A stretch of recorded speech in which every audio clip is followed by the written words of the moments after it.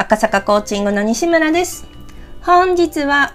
自分の仕事の内容についてです。こちら、菅谷慎一さんの YouTube 実践メールのお題の64日目です。私の仕事は対面のコーチングです。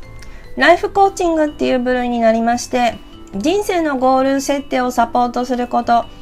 クライアントさんに自信をつけていただくこと、これをお仕事にしております。カウンセリングとかと近いって言われてますけれども、対話とかによって相手の方のパフォーマンスアップを図るっていうそういう技術がコーチングです。別にコミュニケーションスキルのアップだけを言うわけではないのです。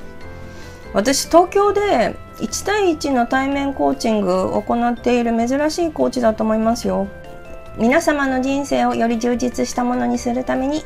ぜひご利用ください。